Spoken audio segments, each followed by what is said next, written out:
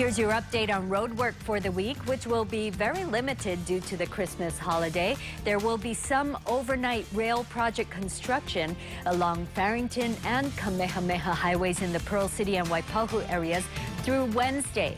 But that will all shut down Thursday the 24th through next Sunday. There will be no daytime closures. Nearly all state and city projects are off for the week.